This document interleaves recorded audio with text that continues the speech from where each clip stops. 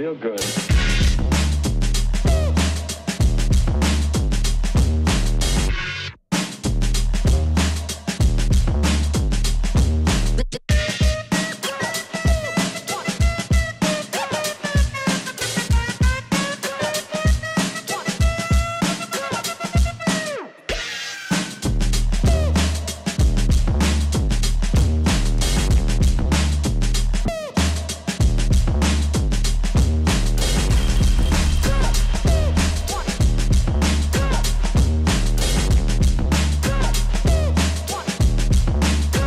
to get a hold of yourself.